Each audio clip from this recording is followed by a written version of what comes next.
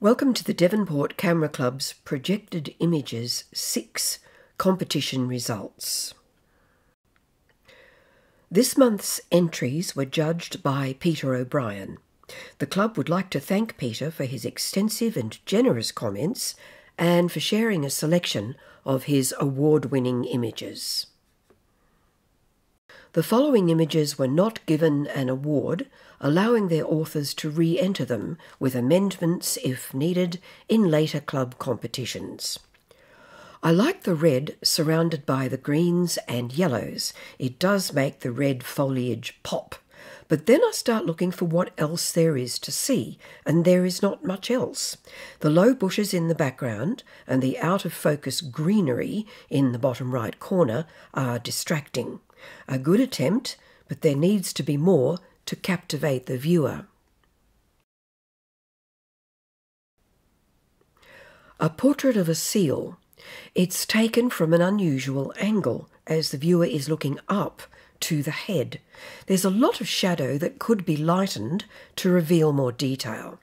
There is a catchlight in the eye, which is a plus, and the ear is sharp, but the nose looks a bit soft, so maybe a different f stop would have helped. After observing the portrait, the viewer is not left with much else to keep the interest going. A good capture, but it needs more to hold a viewer's interest. I looked at this image and wondered what drew the author's attention.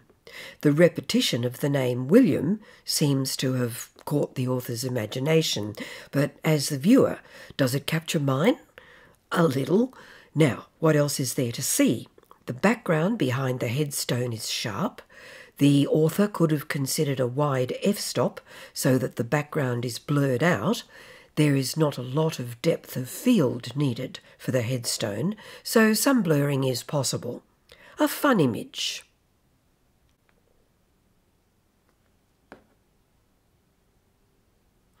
I like the juxtaposition of the green and orange with the blue-grey of the moody sky. The portrait format suits the composition with the tree placed on the third. There's a lot of foreground, but it is rescued from a cropping comment by the lighter green and yellow areas in the lowest part of the image.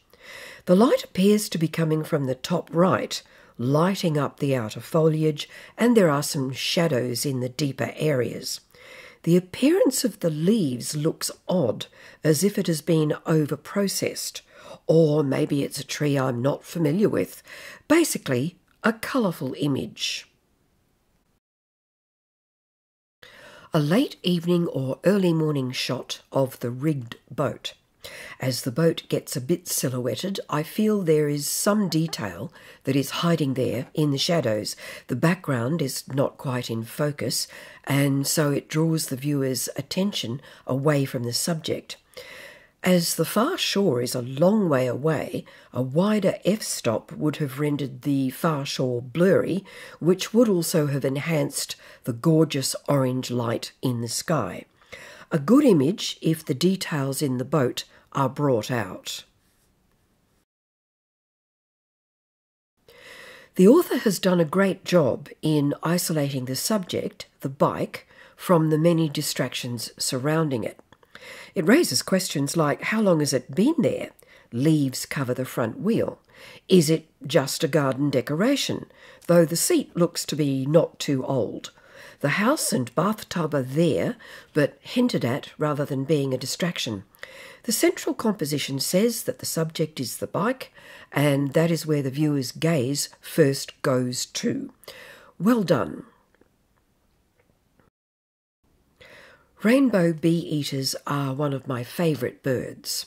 My initial thought was that the cyans look uh, oversaturated, but I checked with some I took recently, and one image had similar high saturation in the cyans. There are two issues that I see, and the strongest is the blue colour cast in the shadows on some branches and casuarina needles. There's also a slightly blown out area of the breast of the right hand bird. This is understandable due to the range of light and shade in this image, but exposing for the highlights helps in this instance. The left hand bee eater is well exposed, and the capture in flight is a bonus. They move so fast that an in flight image is not easy to get. The shutter speed has been well chosen to get the flying bee eater sharp.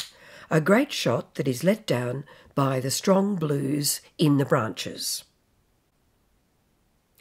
An interesting waterfall with a number of cascading levels.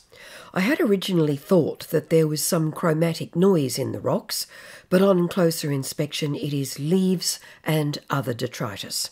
Waterfalls often have a light source up towards the top of the falls, and in this instance the water at the top is blown out, and the shutter speed may be a touch too slow as it is a bit milky and some detail has been lost.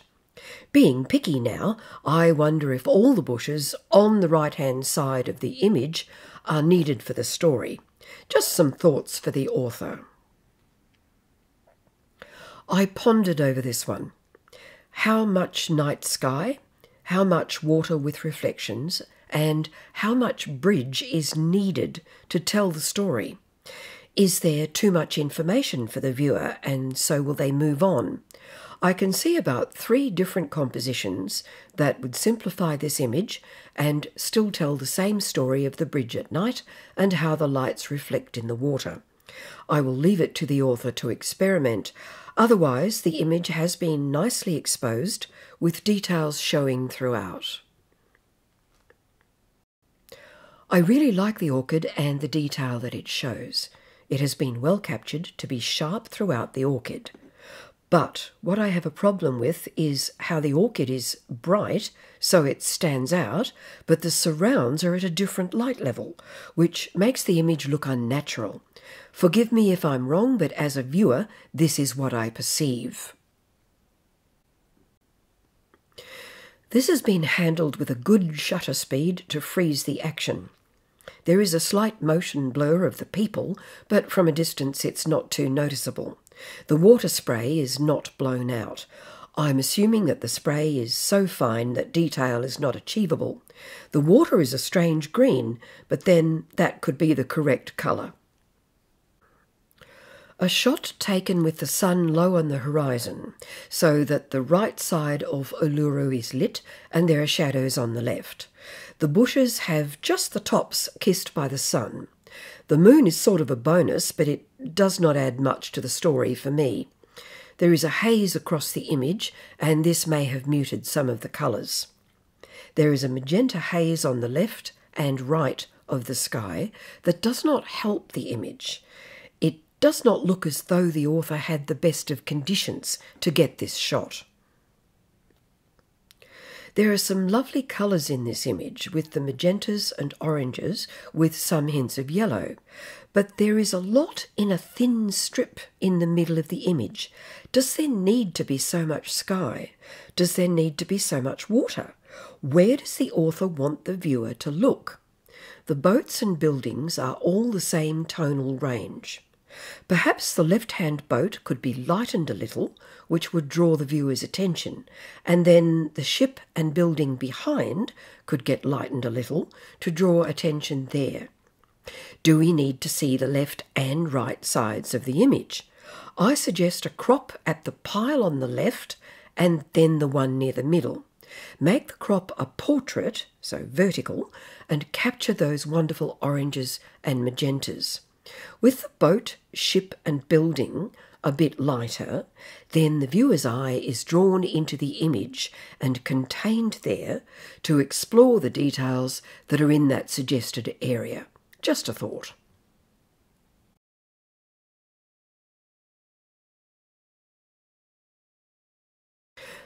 Fungi can be difficult to photograph. They're not often at convenient height, and so dexterity is required, which adds to the degree of difficulty in capturing a good fungi image. There is detail in the fungi with just the far edges starting to lose focus. The background is nicely dark and out of focus, which helps to lighten the fungi, but there's an issue with the ground around the base of the fungi, which is much less exposed than the fungi. I would like to have seen some mid tones in this area and fading to the background so that the scene would look more natural At the moment, it is a bright fungus floating in dark surrounds. Nevertheless, it is a great image that could be raised to a higher level with more realistic processing.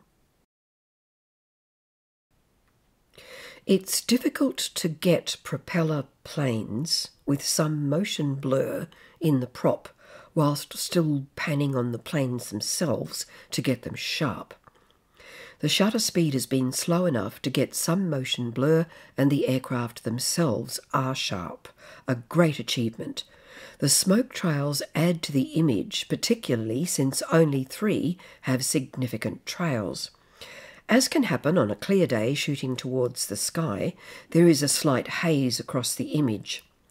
See if you can think that the dehaze slider in the Effects tab in Lightroom or Adobe Camera Raw improves it or not. It can be a personal taste item. It will change colours, so be careful with it. What intrigued me with this image was how did the dog get there without an obvious track? I think I can see a possible paw mark on the very right edge. The dog is cute. It has its attention on something out of the frame, a ball perhaps. If you can get the viewer to be wondering, you keep them engaged with your image.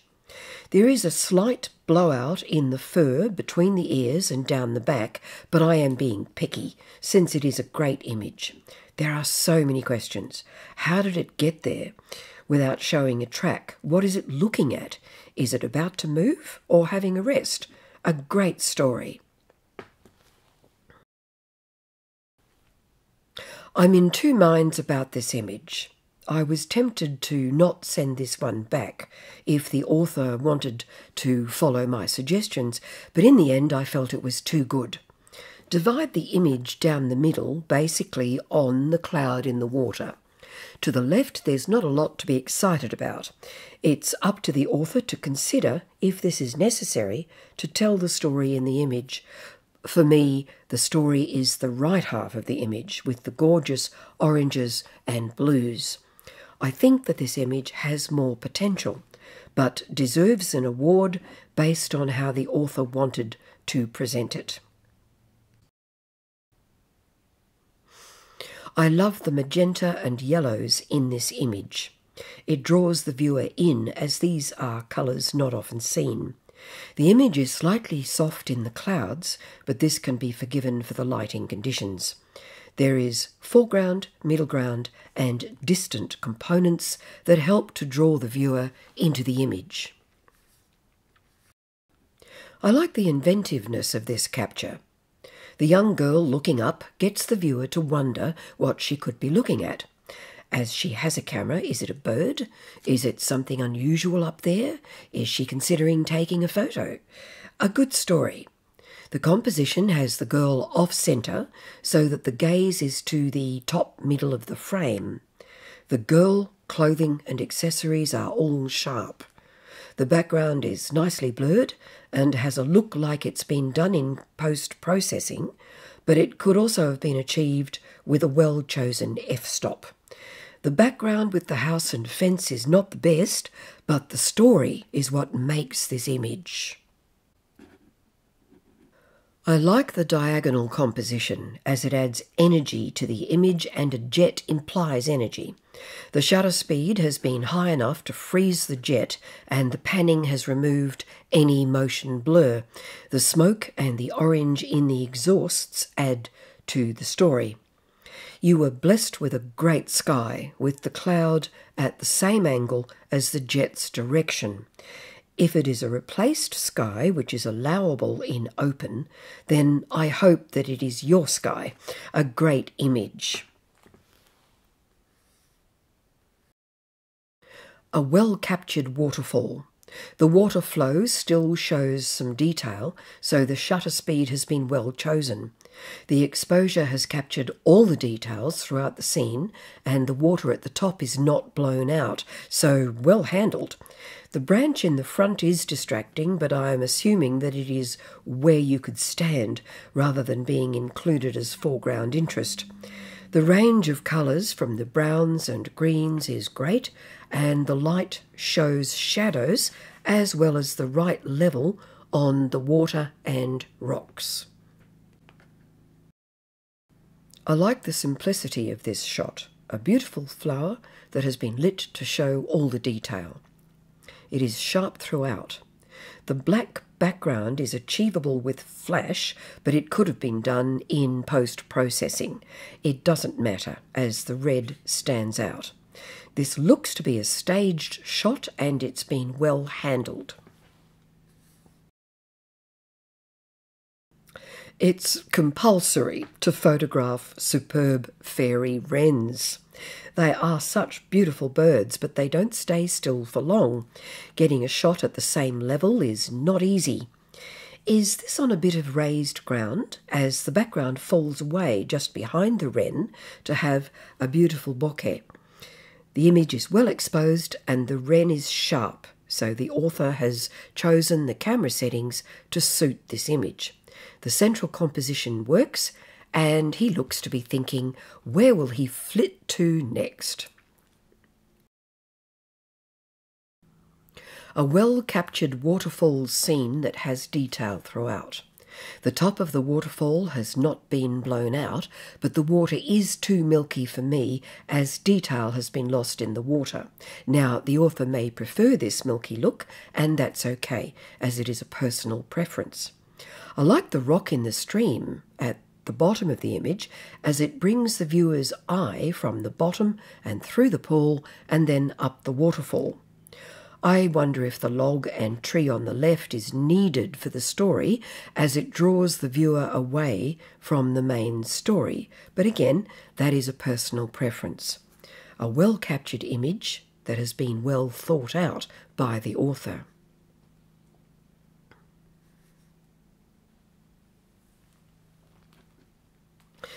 This is not a bird on a stick, but a bird doing something.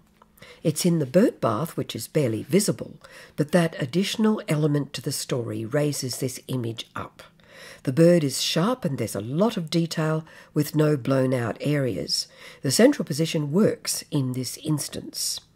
There is an orangey oval in the right background that could be removed as it is open, or lift the background exposure a bit if there are other bokeh that could stop this orangey blob being seen in isolation.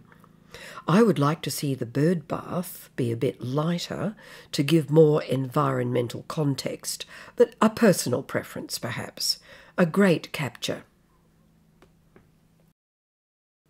There is a lot of skill to get these water drop images.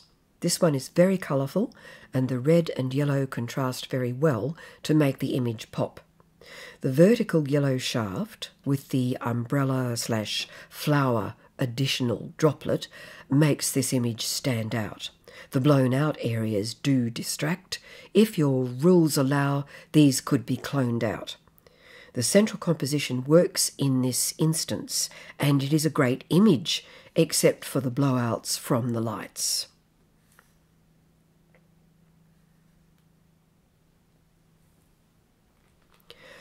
A beautiful backlit image of the sunflowers. The three heads is the right odd number of the flower heads, and the diagonal positioning adds to the energy of the image. The light is coming from the right and it looks to be a golden hour shot. The yellows and greens are not oversaturated. There is some blue in the sky on the left side, and the washed out sky on the right can be forgiven as it's closer to the light source. A great image.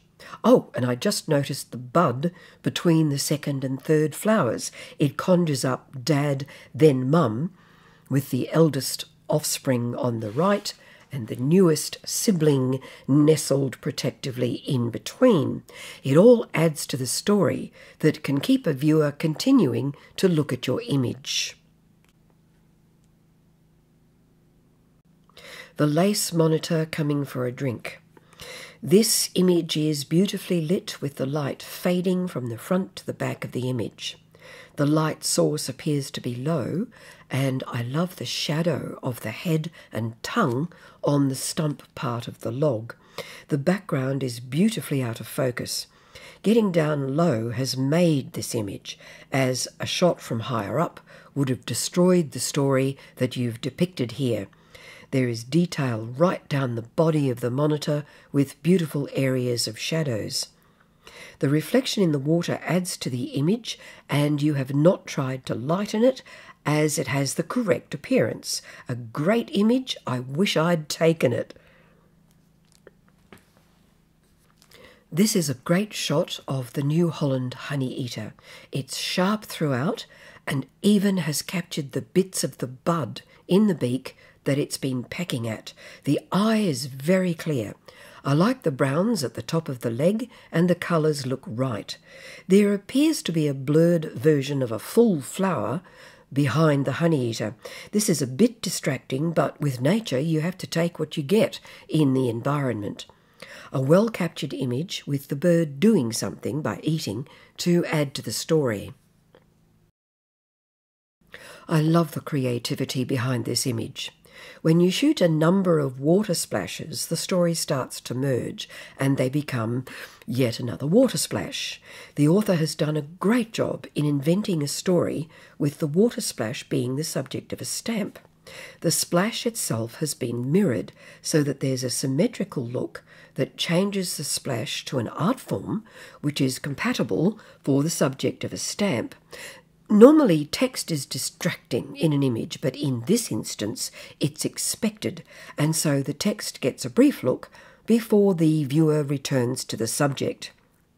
The perforated edges give a framing to the image, a well conceived image.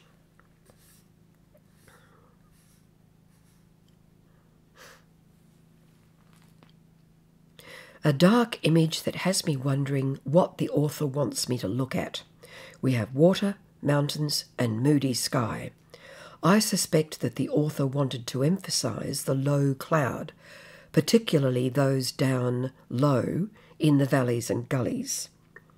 There's detail in the shadows, and the light on the right hand side, and this could have been used to highlight the mountainside and draw the viewer towards the low cloud in the middle, which could be lightened slightly, and then up through the snowy peak to the moody clouds.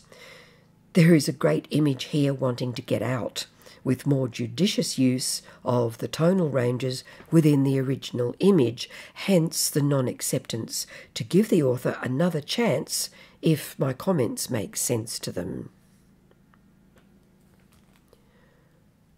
This is another image that has potential and hence a second chance.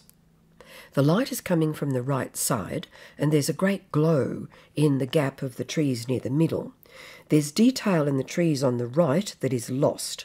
The scene to the left of the pole in the middle does not hold much interest. The author could consider a crop just to the left of that pole so that the glow is on the thirds and then raise the shadows on the right trees to reveal some detail. To me, this is another good image wanting to get out. There's too much bland grey sky with an out of focus moon and this draws the viewer away from the detail that is lost in the shadows. I would suggest a crop above the hills to where there is a transition between the darker and lighter greys. Perhaps the hill on the right could be cropped a little as well, as it is the light on the hills on the left that is the main subject. The shadows on the slope facing the viewer could be lightened to show more detail. There is potential there. The old shed has been well spotted under a moody sky. That has resulted in a flattish tonal range, particularly in the shed itself. Again, some details are being hidden in the shadows of the shed interior. If the author shot in RAW, then there may be detail to be recovered. If a JPEG, then there's still scope. Revisit this image and see if you can recover some detail in the darker areas. The HDR treatment of this image has destroyed the potential that this image originally had. By removing any semblance of a shadow, it becomes flat and unnatural. There are many great passages that must have been in the original image. The corners, the fireplace, and the grunge on the floor all have shadows. This is the opposite to other images where I'm saying to put the shadows in. I know, I've tried it, and there is a great image lurking here. The author just needs to bring it out.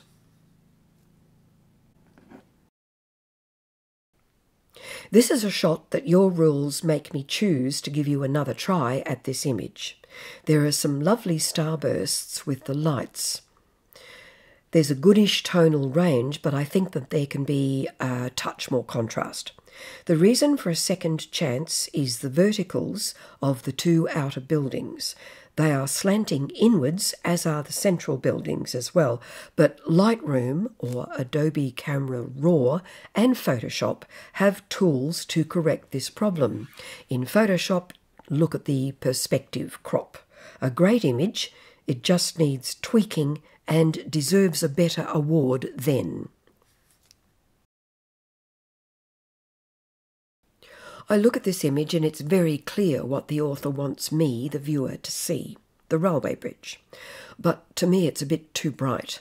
There are some beautiful shadows on the vertical supports on the front left and on the sleepers that will help to frame the tracks as the viewer transitions from the front of the bridge to the lighter area across the river. And the trees on the right have wonderful light bark that contrasts with their immediate background. I would not crop the mess on the left as the bridge needs to be where it is in the image. This image has great potential if the author can darken down the image and get more tonal range in the bridge and the right side of the image. It deserves better, hence the second chance.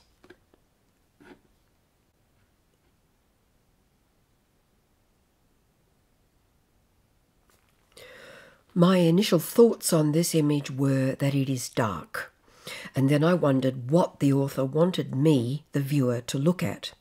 Is it the three people or the architecture? The three people blend into the dark, low key mood of the image. This may have been the intention of the author, but the viewer has to look carefully to see the interaction of the woman on the right with the other two people. And then there is the architecture. There is a lot of detail that's hidden in the shadows. The two panels on the sides could have the shadows raised to give leading lines. The seat could be brightened a little, both of which would help to draw the viewer's eye towards the three figures. If the subject is the architecture, then the figures are distracting, and the details of the architecture are lost in the darkness. As a suggestion, consider cropping from the right to just to the right of the seat. This will remove the bright lights on the right and frame the three figures between the seat and the wall. Getting more tonal values instead of the low key look would add more interest, a good image that has potential. A well spotted set of footprints and paw prints the group of three is a good use of the odd number rule. The depth of field has sharpness falling off nicely. A suggestion, if you see this composition again, you might be able to get the footprints in a diagonal from the bottom left, just to add a bit of dynamics to the image. The train is the diagonal that gives energy to the image. The engine and carriages are sharp, so there's ample depth of field. The steam is well balanced with minimal blowouts compared to the adjacent dark engine front, where there is still detail, so the dynamic range was well handled. To me, what lets this image down is the flatness of the tonal range in the background. It makes me feel that it's been processed to remove the shadows. I'm probably wrong, but I find it distracting from the great image of the train.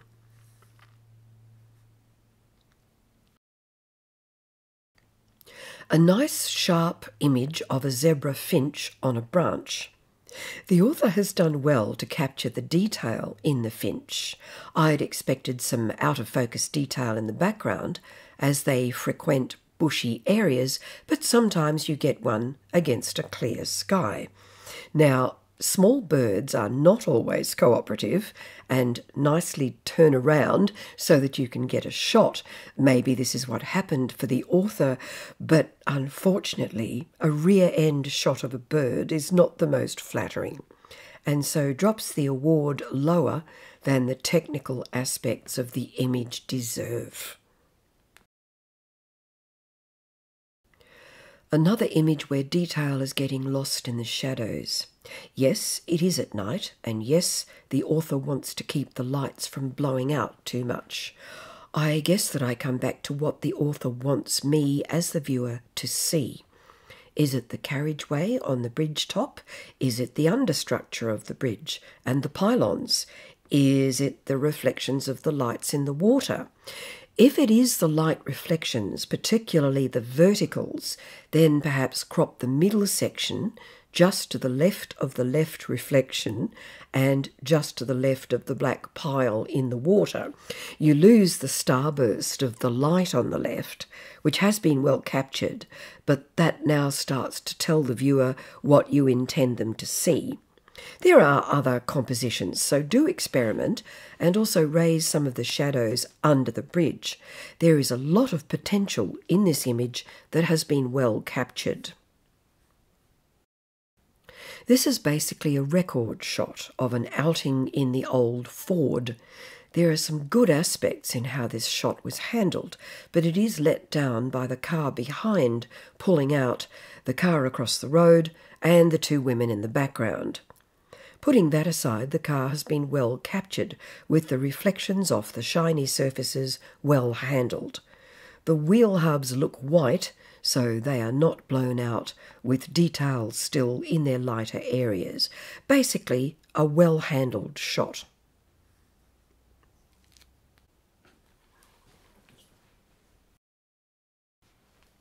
Many times, when the whale dives, it can be just a small gap to the water.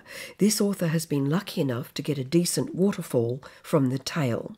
The exposure has been handled well as there is minimal blowout in the water. The shutter speed has been sufficient to freeze the water droplets with just the hint of motion blur, which emphasizes the action. The treatment has given dark water and the light tail a good tonal range. And although we cannot see the body of the whale beyond the waterfall, the brain knows what's going on here and makes the disembodied white tail believable. A great capture.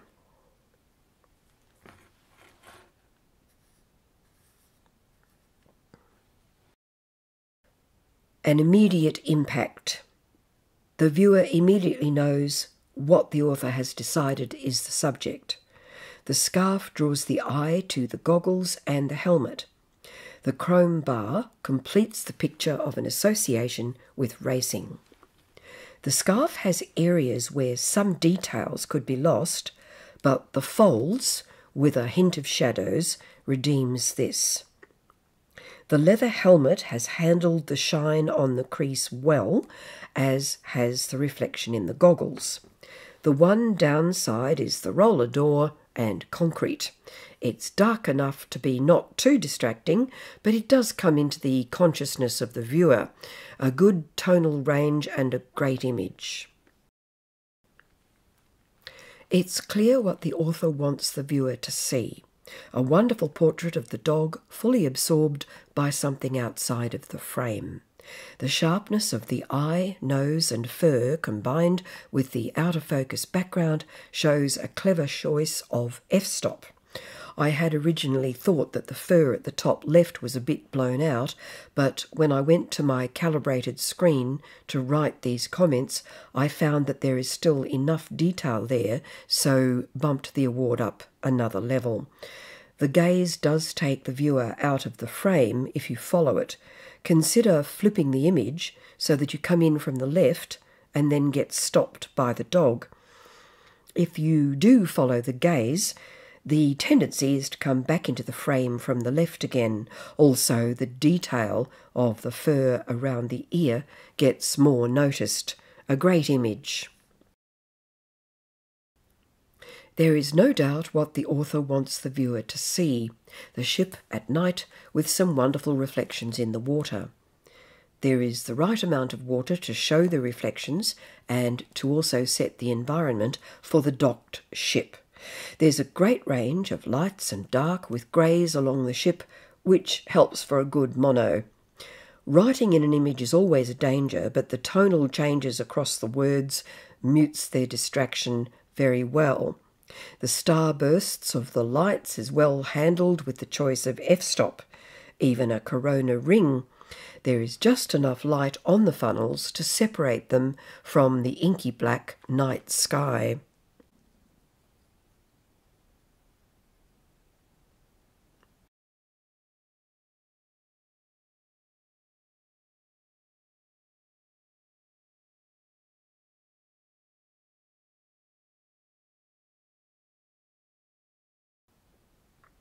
My style of photography and judging is to consider how the viewer would negotiate their way around the image. This involves the story, the composition, and the technical.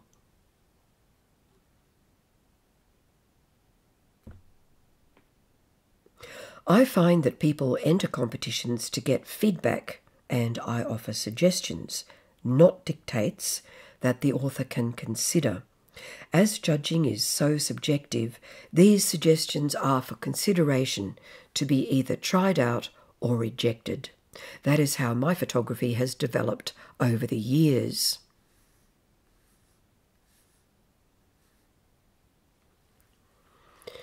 I started my photographic journey back in 2013. With retirement looming, I learned that you can never stop learning how to take a good photo and also how to post process. I started at the Castle Hill RSL Photography Club, which is the largest in New South Wales. Over eight years, I volunteered to be the competition coordinator, then becoming the vice president, president, and now the past president.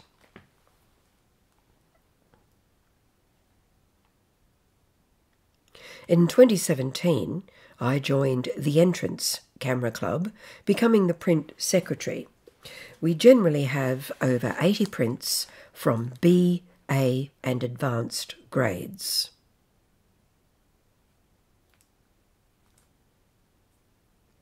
After completing a judging course, I qualified for the Federation of Camera Clubs New South Wales judges list. I am currently judging the BirdLife Australia competition.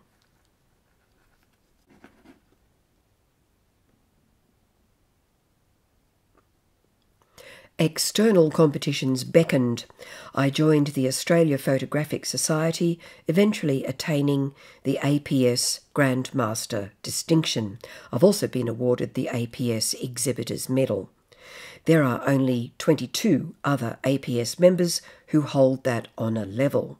Oh, and I also have the FIAP Excellence Distinction.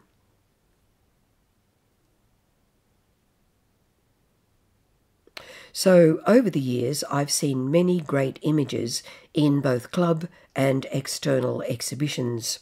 To achieve my current level, I've had to learn what works with images.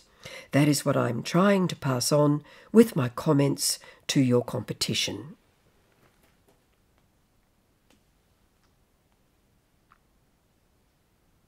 These images span my international successes. As you can see, I tend to shoot nature and sports action, but have had success with other genres as well.